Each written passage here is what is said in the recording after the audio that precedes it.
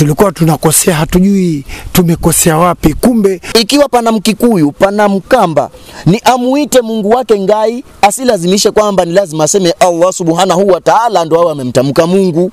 Kwenye hili grupu la wanakaya ni wakitambo sana. Umeniambia kwamba wanakaya si dini. Je, mimi ni Mkristo, kuna yule ambaye ni Muislamu, kuna yule ambaye ni Mbudhi, kuna Mm. yule Mujuda Mm. Atakapoingia hapa Mm. E, anakubalika namna alivyo ama kuna kitu nyingine? Kwa sababu nimeona hata vitabu mnatumia ni vile vile, ama kuna kitu lazima Hapana, na kurekebisha, hii ni dini, hii ni dini ya kwetu. Dini ya kwetu ni ufalme wa kwetu, mila ya kwetu, sawasawa na vile ambavyo Wayahudi wana yao na Waarabu wana yao. Waarabu vile ambavyo wanaabudu wako sawa, wenye tunakosea ni sisi wenye tunaabudu e, tunaabudu kama Waarabu waabuduvyo kwao. Mm? Kwa hivyo ikiwa kuna Mwarabu mahali popote ni aabudu kulingana na Waarabu. Ikiwa pana Mkikuyu, pana Mkamba, ni amuite Mungu wake Ngai, asilazimishe kwamba ni lazima aseme Allah subhanahu wa ta'ala ndo awe amemtamka Mungu. Mm. Ushanielewa?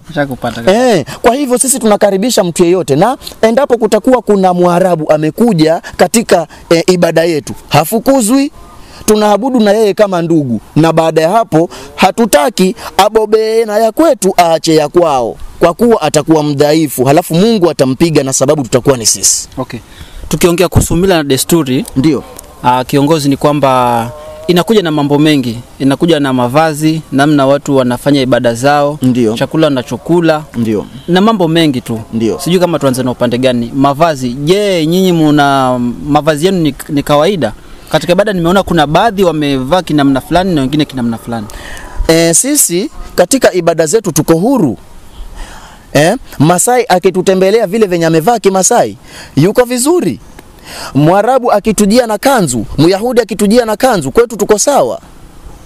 Maana kanzu si vazi la dini, ni, ma, ni mavazi ya watu wa kule kwen- kwengine. Sisi huku kwetu tunavaa mashuka, wamama zetu wanavaa mahando, na katika ibada zetu tunavaa hivyo hivyo lakini akija mtu mwingine ambaye yeye si mwanakaya pengine ni Myahudi, hatuwezi mlazimisha kwamba lazima avae kama wanakaya, maana sisi upande wa mavazi kwetu hakuna marorosa. Unajua marorosa?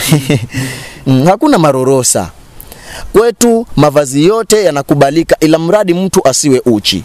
Ila tukifika wakati wa swala, wamama inatakikana wajifinike vichwa kwa sababu ya malaika. Tuna heshima juu ya malaika. Malaika wanaweza wakawapenda tu wanadamu pia hmm? Na nywele za mwanamke ziko na utukufu kwa hivyo inafaa wafinike vichwa, wajitande, waswali pamoja nasi, maana katika swala huwa kuna mkusanyiko wa wageni wasioonekana. Mm. Kwa hivyo wafinike vichwa, maana nywele zao ziko na utukufu, lisije likatukia kama lile la wana wa Mungu katika Mwanzo sura ya sita. Wana wa Mungu wakawaona hao binti za wanadamu ya kuwa wazuri, wakashuka kujitwalia wake yeyote atakayempenda tu. Malaika wakaanza kuishi na wanadamu kama mtu na mkewe. Eh? Wenzetu hawa wanafundisha mpaka wanaonyesha kwamba majini inawezekana kwamba tukawa na intermarriage na wao tukaoana na majini, ambapo ni makosa makubwa sana. Kiumbe cha roho na kiumbe cha mwili kuvifanya vizae ni makosa makubwa sana mbele za Mungu. Tukitoka katika namna mavazi, kuna mambo ambayo ni ya ndani zaidi, e, mila na desturi, namna watu wana e, wanafanya tambiko zao katika labda mtoto amezaliwa, ndoa, mazishi mm. Kuna namna na je, ni wewe huwa ndio unafanya unaongoza tambiko hizo ama huwa mnafanya vipi nyinyi kama Ndio, wanakaya? ndio sisi wanakaya, ikifika kwenye shughuli aina yoyote, tunaongoza sisi wanakaya wenyewe. Maana ndani ya wanakaya Mwenyezi Mungu ameshateua makuhani ambao wanastahili katika kufanya hizo shughuli zote. Ikiwa ni mazishi, tunazika kikaya. Sisi hatuziki mtu amevaa ma, eh, maviatu vyake ama makoti na tai No, hazikwi na chochote, hata pete anavua, anakunjwa kwa sanda, anazikwa kwa sanda peke yake hmm? na hatuna lazima kwamba eti akifa leo azikwe leo. Sisi kwetu tuna heshima ya kwamba mtu kama ni mtu mzima kama hivyo a, tunasubiri watu wake waje, tunalinda panya, kukicha anazikwa. Ikiwa ameanguka kwenye mnazi ama amepata ajali, mila na desturi zetu, hawezi kuzikwa kesho, anazikwa leo leo, maana aitwa mtu wa vita. Kisha papatikane muombezi ambaye anajua habari za miti ya kupoza, ambaye sisi tunamuita mganga, ambapo mimi ndo mkuu wa hao waganga. Mimi nami ni mganga hmm? miti ile ya kupoza, tendo lile baya lipozwe ili lisije likaendelea kuwindawinda ile jamii, ambapo ni jambo la maana kabisa Mwenyezi Mungu alilitoa lifanywe. Katika maneno ya maisha baada ya hapa duniani, Ndiyo. labda unipe tu mambo machache, ni kitu gani mnaamini kulingana na maisha baada ya hapa? Maisha baada ya kustaafu dunia, kwa sababu mtu hafi. Sisi si eh, watu tulio na roho, sisi ni roho tulio ndani ya mili. Kabla ya kuzaliwa ulimwenguni tulikuwa tuko, halafu Mungu anatafuta tu sababu ya kwamba ah, huyu bwana, hii roho hii roho hii ina ushujaa, roho hii ina hekima, ngoje niitafutie mwili iende ulimwenguni ikafanye hili na hili na hili. Kwa hivyo tunapoingia hapa, tunaingia katika chombo cha, cha kusafiria ili tuyatimize yale ambayo Mungu angelitaka ndani yetu. Kwa hivyo baada ya ule mwili kwamba umechoka, taa hili linanisaidia kuona, halafu lishazima, nishazeeka. Halafu masikio haya yananisaidia kusikia, halafu yashazima, nishazeeka. Viungo vinaendelea kufa. Ule mwili ukishindwa na kuyatimiza yale ambayo roho ilikuwa imeamuriwa kuyafanya, basi mwili unapumzishwa, roho inaachiliwa, inasubiri, inaweza kurudishwa tena kwa mwili mwingine wa mwanadamu, ama ile inaitwa reincarnation, ama isirudi lakini kuchukuliwe roho ambayo inafanana na hiyo kwa mwanadamu mwingine, ije iendeleze lile ambalo lilikuwa limeachwa. Halafu baada ya sisi sote kustaafu dunia, baadaye kuna kuja kuchukuliwa tena zile roho tuende tukapumzike na yule Mungu ambaye amezitoa. Lakini roho haitoki hapa katika ardhi kabla ya ule mwili Tun, roho inasubiri ule mwili. Ule mwili siku ambapo itafanyika, kuna kitu kimoja huwa tunaita kiama. Kiama ni nguvu fulani ambayo itatufikia vitu vyote ambavyo e, malaika wa kuzimu amezuia apokonywe mkononi mwake, ambapo kazi hiyo itakuja fanywa na Masihi Yesu. Siku hizo ndipo vitu vyote ambavyo malaika wa kuzimu atakuwa amevi, amevituliza mkononi mwake atanyang'anywa. Kutakuwa na ufufuo wa vitu vyote kisha halafu tutaingia katika ufalme wa Mwenyezi Mungu ambao mfalme mwenyewe ni Masihi Yesu. Hivyo sisi tunasubiri kuja kufufuliwa baada ya kuishi hapa. Hiyo ina maana ndugu kiongozi, kwamba uh, dini nyingine kuna namna mnazikubali kwamba wao ni mila na desturi ya wa, wa, walio kwa upande mwingine, na sisi hapa tunafaa tuwe katika hii yetu, sivyo? Ndiyo, tunakubali mila yote isipokuwa tunakataa desturi fulani zilizo mbaya. Ikiwa desturi yao, kwa mfano, kuna watu wanakeketa habari za tohara kwa wanawake mm. Kwetu sisi hakuna, ambapo hiyo si mila, mm. hizo ni desturi za watu. Desturi nimesema inaweza ikawa mbaya ama ikawa njema, na tena desturi kuna uwezekano wa kuibadilisha, lakini mila haibadiliki. Kwa hivyo sisi tunakubali mila yote, tunakataa baadhi ya desturi zile zilizo mbaya. Okay, tukimaliza mazungumzo haya kwa wakati huu, najua mambo ni mengi na tutazidi kuyashughulikia muda unavyoendelea. Ndio. Unawaambiaje watu, watu ambao ni wamejikenda, tunatazamia kwamba wako katika e, wanakaa ya kundi hili Mm. na kama nilivyoona uh, wafuasi wa huu ufalme wa, wanafurahia sana salamu eh? Mm. Salamu ni kama ni za upendo. Ndio. Unawambiaje wale watu ambao wamejibandika majina ya, ya kule upande mwingine? e, kwa hili ninakuomba unipe kama dakika mbili hivi ama tatu. E, naomba wanakaya pamoja na wale wasiokuwa wakaya, naomba pwani nzima, naomba Kenya nzima, naomba Afrika. Tujifahamu kwamba sisi watu weusi ni watu wengine wa maana sana, kwa kuwa hata Mungu alianza kuumba sisi, ndipo mtu mweupe amezuka tu hivi baada ya e, kuingia katika ile milima ya juu kule kukosa jua. Hizo habari utakuja utazipata tu. Sisi watu weusi ndo watu wa kwanza kuanza kuumbwa ulimwenguni. Mbona tunajidharau? Mbona tunaona mtu mweupe kana kwamba ndio mtu wa maana sana kutuliko sisi? E, ni mtu wa maana lakini si sana kutuliko sisi. Ikiwa uko na simu ambayo ni zile zinaitwa smartphone mm. Tafuta e, mtu anaitwa Chedaman, tafuta historia yake, andika Chedaman, utaletewa e, mtu ambaye yeye ndiye mtu wa kwanza kuwazaa watu weupe. Hata Waingereza wote wanakubali kwamba mtu wao wa kwanza ni Chedaman. Halafu ujiulize hapo anapozungumziwa na picha yake utaiona, ni mweupe ama ni mweusi? Ni jamaa lingine lilikuwa black kabisa, yeye ndo mtu wa kwanza wa wazungu. Inakuwaje mtu wa kwanza wa wazungu iwe ni mweusi, halafu huyo mtu mweupe awe ndo wa kwanza?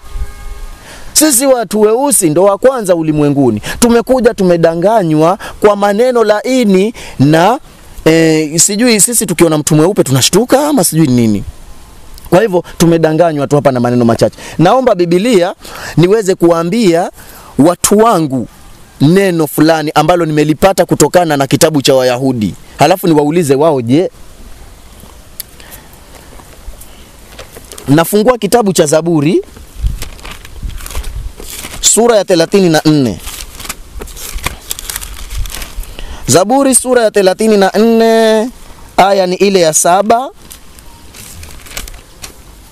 Mm.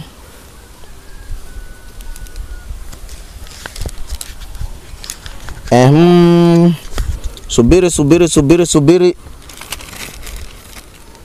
kidogo, naangalia 44 mimi na huni, na huni hunirekebishi babu 34. 34 mimi nilikuwa nimeenda 44. Mm. Sura ya 34 aya aya ni ya saba inasema hivi: malaika wa Bwana hufanya kituo akiwazungukia wamchao na kuwaokoa. Aya ya nane inasema onjeni muone ya kuwa Bwana yu mwema, heri mtu yule anayemtumaini. Nikirudia inasema malaika wa Bwana hufanya kituo akiwazungukia wamchao na kuwaokoa. Hufanya kituo. Sasa nyinyi nyote mnaoenda makanisani, mkitoka makanisani, jiulize, je, malaika wa Bwana amefanya kituo wapi ndani ya hii ardhi yetu tunayoishi? Ndipo ujione kwamba hapo ulipo uko sawa. Unaambiwa yule malaika wa Bwana amefanya kile kituo, lakini kazi yake ni, wa, ni kuwazungukia wale watu wanaomheshimu, kumcha akiwaokoa. Tena unaambiwa onjeni muone ya kuwa Bwana yu mwema, amebarikiwa mtu yule anayemtumaini huyo malaika. Kwa hivyo unakuta kwamba malaika hutoka hapo kituoni kwake akiwazungukia watu, lakini hazungukii watu wote, anazungukia wale ambao wanamtii. Sasa nyinyi mijikenda, malaika wenu yuko wapi? Na inatakikana mumfahamu, kwa sababu hili ni neno la Mungu. Tatizo wale waliookoka wanaangalia habari za Roho Mtakatifu tu, hawajui kwamba tunafaa kuangalia habari za Roho Mtakatifu, tunafaa kuangalia habari za malaika. Mtume Petero alipokuwa gerezani amefungwa anangoja asubuhi achinjwe, alikuja akapigwa ubavuni na malaika. Kuamka ni mwanaume hapo, akamwambia inuka, cheni zikaanguka, akatolewa na malaika pale pale, akaenda akaachwa kwenye njia ya kuenda nyumbani kwao. Kwani Petero alikuwa hana Roho Mtakatifu? Alikuwa naye Roho Mtakatifu wa Mungu, lakini kwa nini tena ilitolewa malaika amfate? Maana yake ni kwamba Roho Mtakatifu yuko na kazi yake na malaika yuko na kazi yake, ambapo sisi watakatifu wa Mungu tunafaa tujue ni jinsi gani tutakavyoishi na hawa wote wawili, maana mmoja ni kiumbe, mwingine si kiumbe. Baraka ni ipi? Kwa nini tunasoma Ibrahimu ameketi anakuta wageni wanamkujia, kumbe ni malaika? Sisi kwa nini hatukutani nao hawa eh? Halafu Ibrahimu tabia zake zilikuwa nini? Kutambika, kutoa kafara kumuomba Mungu kwa sadaka. Sisi tukiambiwa hayo tunaambiwa Yesu amemaliza wapi? We, nitakuja kukuonyesha habari za Yesu hapa ndani ya hii Biblia. Yesu hakumaliza kuondoa kila kitu, kuna vitu ametuachia na ni lazima sisi tuvifanye. Okay, sawa. Tu- Tukimaliza kabisa, niko na swali la mwisho. Ninapomwona Mwanakaya, Na. tukimaliza maliza tu, mengi tutaongea wakati mwingine. Ndio. Nitamjua vipi? E, utamjua Mwanakaya ukimsalimia.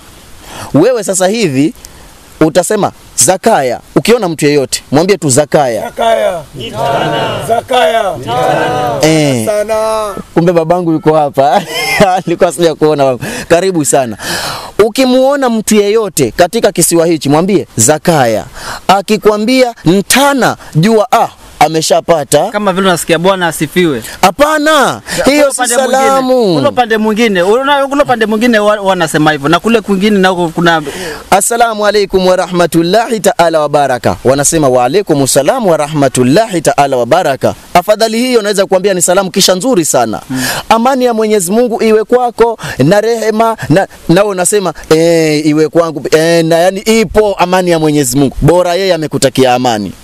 Lakini wewe utakuta mtu anakuambia Bwana asifiwe.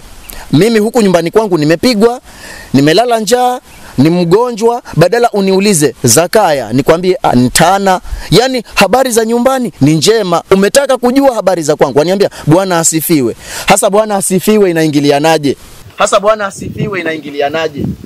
Sinisalimie kwanza, utake kujua usalama wangu, halafu ndipo mimi na wewe tunaojuliana usalama tunamsifu Masihi Yesu, si mbaya, lakini haimaanishi kwa- kwanza, hata ni ujinga, ni upumbavu. Eti Bwana asifiwe, kwani usiposema Bwana asifiwe haijulikani kwamba wewe unamsifu?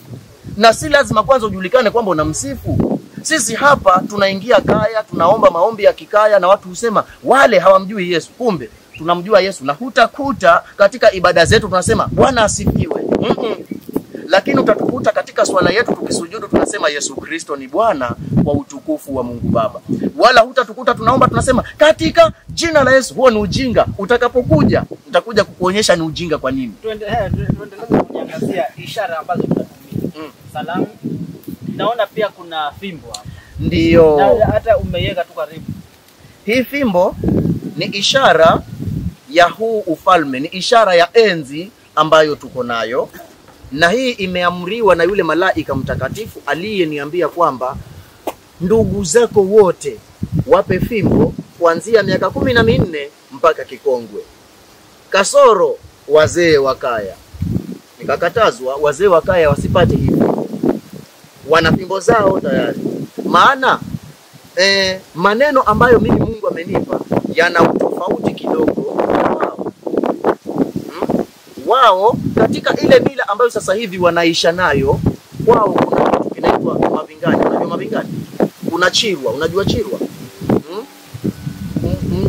Mkeo hapa ni mjamzito, ukienda kwa mwanamke mwingine, huyu mtoto hapo na mchira anazaliwa akiwa hana afya. Kwetu hakuna, malaika wetu wameondoa hiyo hatuna chirwa sisi, alafu hatuna hayo kwamba eh, umeoa eh, mtoto wa shangazi yako iwe kwamba inakataliwa. Kwetu inakubalika. Safari hii unaoa mtoto wa mjomba, unaoa mtoto wa shangazi.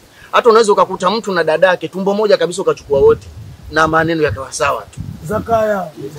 Eh, ndio maana tunasema ni tana. Yaani ni safi kabisa. Eh, tena inaitwa inaitwa mujarabi, mujarabi kabisa. Okay, shukrani sana eh, ndugu mpiga picha wetu pale na wanakaya kwa jumla, tunashukuru sana kwa ajili ya mazungumzo ya siku ya leo. Tutakuja tena ili tukaweze kuchambua mengi na mengi zaidi ya yale ambayo tumeweza kuya- kuya- kuyasahau kwa leo.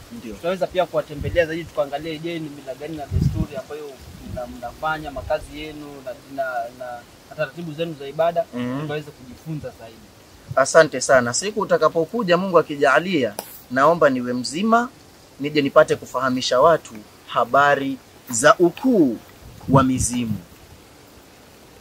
Okay, shukran sana. Hii inakuja inakuwa kali sana, nasi tutakuja very soon kwa ajili ya hiyo elimu na ukazidi kutayarisha ma Sawa. Okay, nime, nimepata ufahamu mwingi sana kutokana na kiongozi hapa bwana Ambari Seda Tsui. Niko na wanakaya wengine hapa ambapo wenyewe wamejikubali, wana furaha katika eh, mila na desturi hii dini yao, na, na hapa ni, niko na mzee ambaye ni mkonge kabisa, anafahamishwa kwamba ni, ni baba ya kiongozi wa ufalme huu, yaani mfalme wa, wa Wanakaya. Jina langu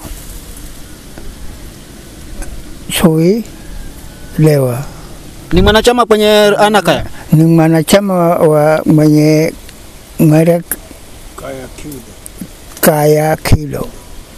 Unazivunia kabisa. Tandimi sana sana eh. Mzee hapa anasema yani yeye amefika, na upande huu mwingine niko na mkuu pia, anaweza tuambia jina alafu atuambie maoni yake mawili matatu kuhusiana na na mchakato. Ametoka mbali sana, amefika hapa. E, mimi kwa majina yangu kamili mimi naitwa Saidi Ndune Mganga Gongolo Juja. Juja. Basi mimi ninafurahi kwa sababu huko tulikotoka tumetoka kwenye njaa, tulikuwa tunakosea, hatujui tumekosea wapi, kumbe kuna nyayo za mababu zetu ndio sasa tunazitapilia, yani tunazifuata. Tulikosea wapi kwani sisi? E, mtu anaishi kuwa na tumbo kuzaa mpaka operesheni, yani ma, chakula juu haki hakipatikani mashambani. Tumekuwa vijana hawapendani, yani ukiwaangalia hawaeleweki wamejibandika majina wao, sijui ni wachezaji wale wa mipira, wamevaa suruali mpaka zinatororeka kwenye matako hapa, kwa sababu kuna kitu wanatafuna majani yanaitwa mgox. Hiyo ndo imetupoteza katika mila yetu, inakataliwa tena vibaya, kwa sababu tumeacha mila sisi. Hebu tuangalieni hivi sasa, wasichana wanavaa suruale hata huwezi huwezi huwezi kumwangalia akija kwako nyumbani utafukuza wewe. Ile ndio imeharibu mila kabisa. Tumepotea, twaelekea wapi? Ndio maana ndugu yetu malaika wa Mungu akamshukia akasema, nifuateni, nifuateni twende kwa Bwana na sasa mpaka hivi sasa sisi twamfuata yeye ili twaenda kwa Bwana na kutoka tumfate. Sasa hivi tuna miaka kama minne eh, ambao tunaendelea. tumeletwa vurumai, tukaba labda tunataka upendo wa serikali nini na nini, tukashikwa tukatiwa ndani, tukatoka tukashikwa tukatiwa ndani tuka... mpaka sasa hivi tuna, tuna kesi ambazo zinaendelea, lakini kwa hivyo tunafurahi kwa sababu Mungu ako na sisi. Okay, shukrani, shukrani sana. Naona bwana Juja ako na hisia kali sana. Acha tupate hisia za, za, za ndugu hapa kama mwanachama wa Wanakaya. Hebu nipe hisia zako. Mimi kwa majina naitwa Mwepesi Ndune Munga. Mimi ni mwanakaya halisi na sikuwa eti nililazimishwa, bali ni Mungu mwenyewe ametu, ametu, ametupatia hii zawadi, nasi kama wenzetu vile walivyopawa zawadi. Basi tunasema shukurani mwanzo, kwa sababu kweli hapo nyuma sisi tulikuwa tuwapotea, hatujijui, lakini sasa kumbe Mungu naye ana daraja lake, akatutoa katika ule upotevu wetu, akatuletea dini yetu na kiongozi wetu masihi wetu wa Bwana Ambari Seda mwana wa Tsoi. Yeye ndio alipawa huu hii zawadi kutoka kwa Mungu mwenyewe, ndio maana pia sisi na sisi Mungu akatujaza ile imani kuwa kweli, kumbe tukifata dini ya Waarabu huwa ni kupotea, maanake ni mila ya kwao. Dini ya, ya, ya Waarabu ni mila ya kwao. Uislamu kumbe tulikuwa hatujui, si tuwasema mimi ah, ni Muislamu bwana, kumbe hata ni unyenyekevu na kila mmoja, hakuna hata yule ambaye hana dini pia anamnyenyekea Mungu. Okay, okay. Na, nashukuru sana ndugu yangu. Labda nipate mtu wa mwisho, nipate mtu nipate mtu wa mwisho anasema hayuko tayari, na niko na ndugu yangu hapa. Je, hisia zako wewe ni kijana mdogo, unasemaje kuhusiana na yani ili huu mchakato mzima? ukina wengine unaenda hivi na hivi, lakini wewe umeamua kushika njia hii, maoni yako? Zakaya. Kwa majina naitwa Rashid Omar Beja, na kusema kweli naweza hamasisha wenzangu, vijana wenzangu kwamba huu msururu ambao tumeushika ni wa haki na ni wa kweli. Kwanza namshukuru Mwenyezi Mungu kututeremshia Roho wa Bwana kwa Ambari Saida Tui, masihi wa Bwana. Ni kiongozi wetu na tunamwamini na tutazidi kumwamini. Nahamasisha vijana wenzangu, tushikane, tuwe pamoja. Huu ni ukweli wa vijana wa mila, tushikane na mila yetu, tuachane na mambo ya kuambiwa njiani njiani. Ninapo, unaponiona nimevagushe, usiseme mi ni mchawi, nimeshirikiana na uchawi. Hapana, nadumisha mila yangu na, kita, na kitambulisho changu ni fimbo au sio? mtaa.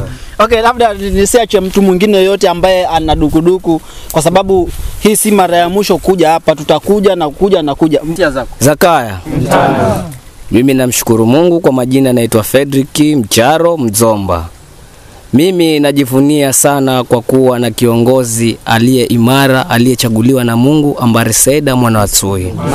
Ninashukuru sana kwa sababu amenitoa gizani, amenileta kwa mwangaza, kwa sababu hapo zamani nilikuwa nikiona mtu amevaa nguo zile, mimi nachukulia tu ni mtu mbaya, kumbe ndo nguo zetu za mila.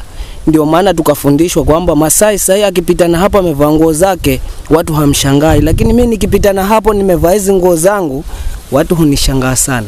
Kwa hiyo nawahimiza vijana wenzangu waungane na sisi nawe pamoja na sisi, kwa sababu kuna matambiko ambayo huwa tunatakikana tutowe, na tambiko hizo ni sisi Warabai ama Mijikenda tutoe. Sasa wakiwa kando, hatutafanikiwa kwa sababu ujambazi, uhalifu ulikuwa mwingi sana hapa kwetu, lakini kwa sababu ya Ambari seda Mwanawatsui kuja kutupa ule mwangaza, tunashukuru uhalifu sahii umeanza kupungua. Sahii tumevuna mahindi na bado tunaendelea kulima, kwa hiyo tunashukuru kwa hilo.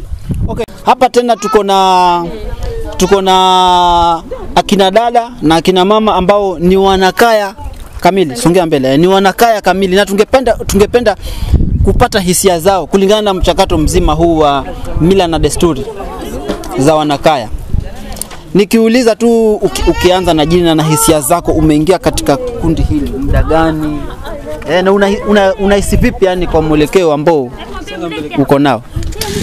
Kwa majina naitwa Aisha Kadzo Kazungu. Kwenye hili grupu la wanakaya ni wa kitambo sana, yaani tumetoka mbali nalo, na najisi niko kamilifu kivyo vyote vile venye litatukia, mimi niko kamili Yaani kitu gani ni, ni, ni kitu gani nakusukuma yani kukaa hapa ama ni vile bwanako labda kwa hapa? Hapana, mimi mwenyewe nimejikubali kivyangu, kando na mume wangu kwa eti yuko pamoja na hili kundi.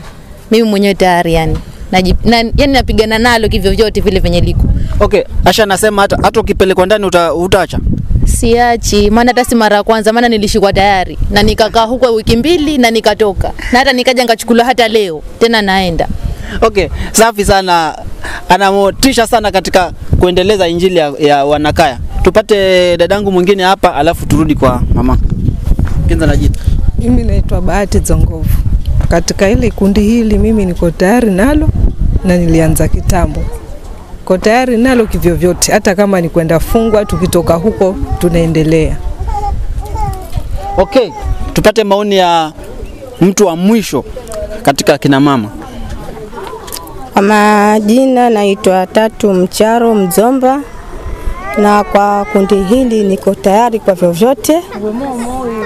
Da, nikishikwa naenda tena, nikirudi hapa mimi mshururu ni huo huo, sitawacha. Sasa mama, nikuulize, yani ukiwa mahali na kuna faida ndio unakaa hapo, unapata faida gani? Faida iko nitakuja pata Okay, kwa sasa bado. eh. Okay, na naona pia umeji, wewe ndio umevaa kinyumbani kabisa. Akina dada wengine hapa naona wamekosea. Eh, mimi nimevaa kimila na hawa wenzangu pia nao watavaa. Eh, haja kuwa tayari kupata hii nguo ya kikwetu ya kimila, lakini karibuni watapata. Tau ukienda ukirudi utakuja wakuta nao wamevaa kama mimi. Okay, na sisi labda mnatukaribisha, mtatushonea ama sijui itakuwaje? Unajua tumekuja kinamna nyingine, tatukaribisha, Tutakukaribisha, karibuni sana. Mkija muwe mmevaa kimila. Okay, safi sana. Tutaongea na wale wanaoshona ili tukija nasi tuwe tume, tumevaa kama nyinyi. So shukran sana, asanteni. Tutarudi kuwaletea makala mengi zaidi na zaidi ili tukawajue wanakaya, tamaduni zao, mila zao